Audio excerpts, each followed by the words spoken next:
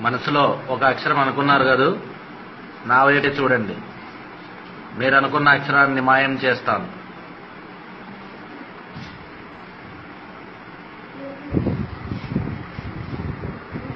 మాయమైంది కదూ?